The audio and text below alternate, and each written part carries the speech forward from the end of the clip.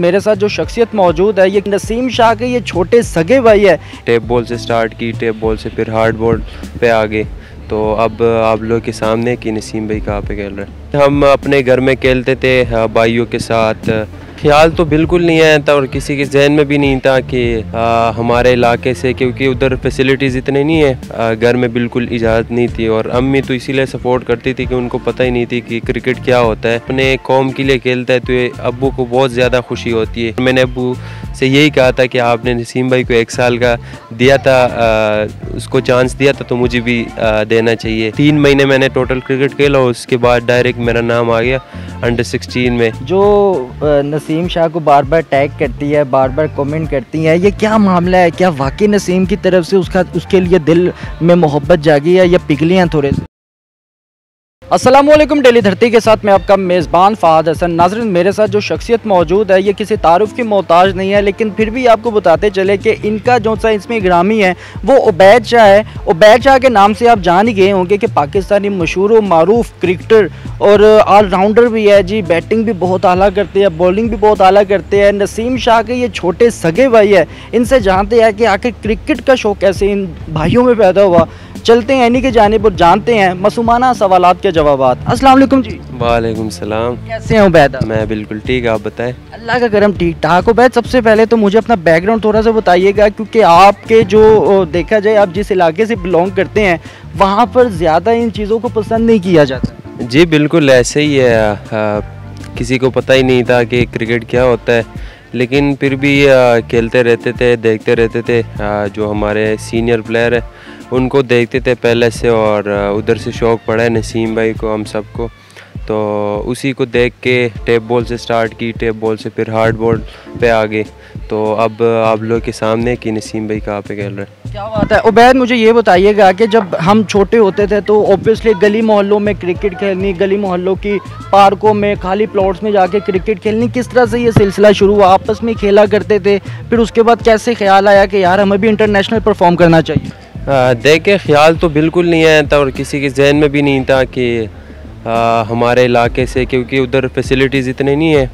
आप लोग पता है इस तरह का इलाका है कि उधर ग्राउंड वगैरह नहीं है इस तरह के पहाड़ होती है उसमें क्रिकेट खेलना बहुत मुश्किल होता है। लेकिन फिर भी हम अपने घर में खेलते थे भाइयों के साथ इस तरह टेप बॉल से खेलते थे। पहले मैच देखते थे मैच के बाद फिर सोचते थे कि आज वो हम भी खेलते अपने आपस में।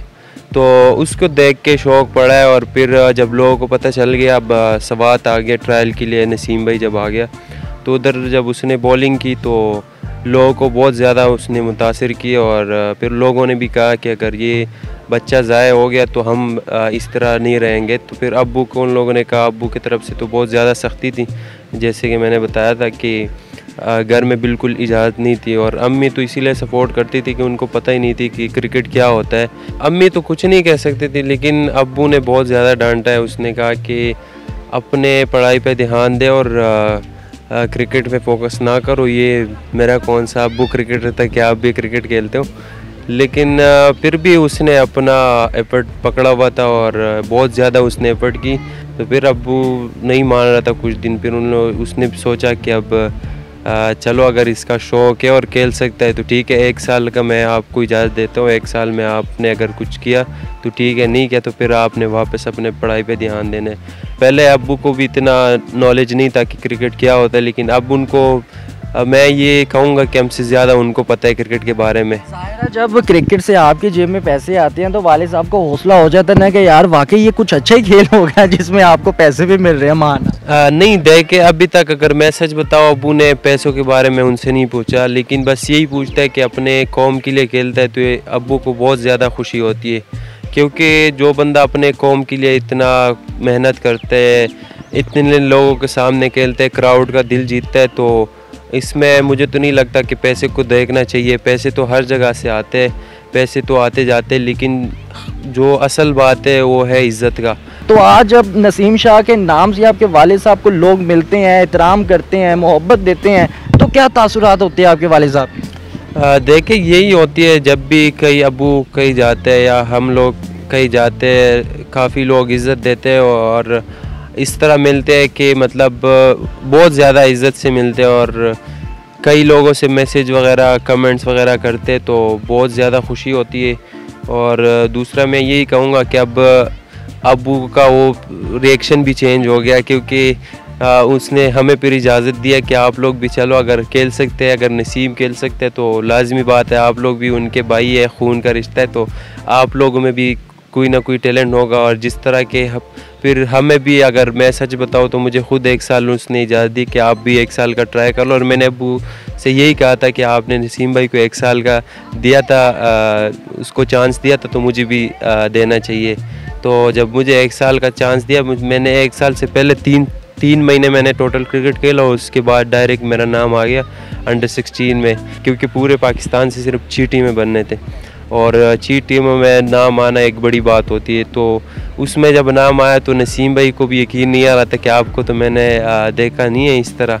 तो किस तरह आपका नाम आया? तो फिर ग्रुप बन गया, उसके बाद नसीम भाई से मैंने थोड़े बहुत टिप्स लिए। फिर भी मैंने अपना एफर्ट पकड़ के अंडर 19 पे आया हूँ अंडर 19 अभी खेल रहा हूँ इनशाला और इसके बाद अगर परफॉर्मेंस करूँगा तो पाकिस्तान में नाम आ जाएगा। अच्छा उबैद मुझे ये बताइएगा कि अगर आपके बैकग्राउंड की बात की जाए आपके फैमिली मेंबर्स की बात की जाए तो आप सिर्फ़ दो ही भाई हैं या फिर आप कितने मेंबर्स हैं घर में? नहीं अलहमदिल्ला हम छः भाई हैं। हम तीन क्रिकेट खेलते हैं। एक मैं उसमें सबसे छोटा हूँ।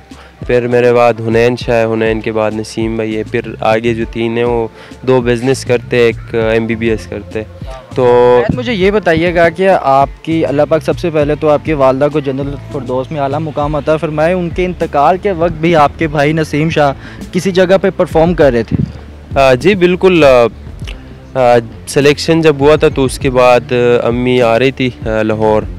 नसीम ने कर लिया था लाहौर में। उसके बाद नसीम ने कहा कि अब आ, मेरा गुजारा नहीं होता। तो फिर आ, हमने यही सोचा अबू ने सोचा कि आ, हम ही चले जाते हैं उधर। तो फिर आ, जब उसने घर लिया तो अम्मी आ रही थी। मैं खुद हैरान हो गया कि क्या हो गया किसको क्या। अम्मी पे तो यकीन ही नहीं आ रही थी क्योंकि बिल्कुल ठीक ठाक ना कोई बीमारी कुछ नहीं थी।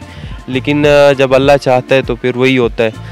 तो उनको रास्ते में नमाज़ पढ़ रही थी और नमाज़ के टाइम उनको हार्ट अटैक हुई और उसके बाद नसीम ऑस्ट्रेलिया में तो आ नहीं सका बदकिस्मती की वजह से क्योंकि अपने मुल्क के लिए खेल रहा था और अबू ने भी यही कहा कि आप अपने कौम के लिए खेल रहे हो ये एक बड़ी बात है।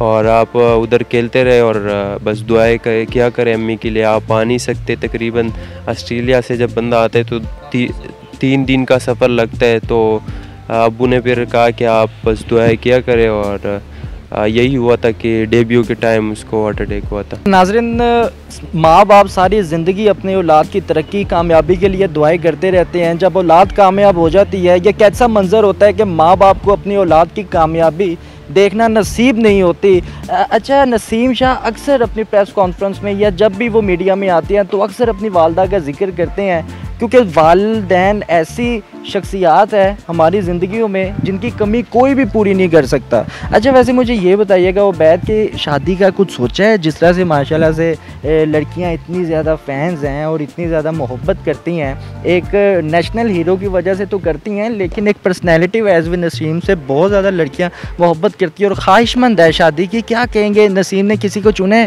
उसने शादी के बारे में भी नहीं सोचा। अभी उसने कहा है कि अभी मैंने क्रिकेट खेलने और कौम के लिए बहुत सारे मैचेस खेलने मैंने और जीतने भी है। तो अबू से बात हुई थी, एक दफ़ा अबू ने उनको कहा कि आपकी क्या ख्याल है, शादी आप कर सकते हो, अभी आप रेडी हो। लेकिन उसने इनकार किया कि नहीं, अभी मैं नहीं कर सकता। अभी मैंने क्रिकेट खेलना है, फिर जब टाइम आएगा, दो साल, तीन साल बाद जब भी टाइम आएगा, हम देख, देखेंगे सिचुएशन को। तो फिर उसके बाद हम मैं फ़ैसला करूँगा या आप लोग, लेकिन उसने, अच्छी बात यह कि उसने अभी अबू पे छोड़ा है कि आप का मर्ज़ी है, आप जहाँ पे आपको पसंद आए तो मैं आपकी मर्ज़ी से करूँगा। अच्छा वैद ये बताइएगा कि इंडियन एक्ट्रेस जो नसीम शाह को बार बार टैग करती है बार बार कमेंट करती है, ये क्या मामला है? क्या वाकई नसीम की तरफ़ से उसका, उसके लिए दिल में मोहब्बत जागी है या पिघली हैं थोड़े से? ये तो सारे एडिट्स वीडियो है, अगर मैं सच बताऊँ उनका कोई उसमें कोई जो कहते हैं ना कोई इंटरेस्ट नहीं है। लेकिन मैं यही कहूँगा कि लोग एडिट्स बनाते हैं और ये सारे फेक न्यूज़ है। तो जी तो नाजरन उबैद शाह नसीम शाह के छोटे भाई हमारे साथ मौजूद है जाते जाते कोई पैगाम देना चाहेंगे हम नन्ना मुन्ना सा कोई? पैगाम यही दूँगा अपने कौम के कि अपने टीम को सपोर्ट करे करे और आ, जितना भी आप लोग दुआएँ किया करेंगे तो हमारी कौम को फ़ायदा होगा हमारी टीम को फ़ायदा होगा। इस दुआओं के वजह से और जिस तरह वो लोग मेहनत करते रहे पूरी टीम आप लोग के दिल खुश करते और अच्छी परफॉर्मेंस करते जा रहे ओडीआई में भी अभी नंबर वन पे हो गए। तो जितना आप लोग दुआएँ करते रहेंगे वो लोग भी आपको खुशी देते रहेंगे। बस यही मेरा मैसेज है कि दुआएँ। क्या बात है, नाजरन, उबैद शाह जनाबी आला मेरे साथ मौजूद है, जो खुद भी क्रिकेटर हैं, इनके जो सगे भाई है इंटरनेशनल लेवल पे पाकिस्तान का नाम रोशन कर रहे हैं। अगर आपको ये प्रोग्राम पसंद है तो कॉमेंट सेक्शन पे लाजमी बताइएगा। इसी के साथ अपने मेज़बान को इजाज़त दें। अल्लाह हाफिज़।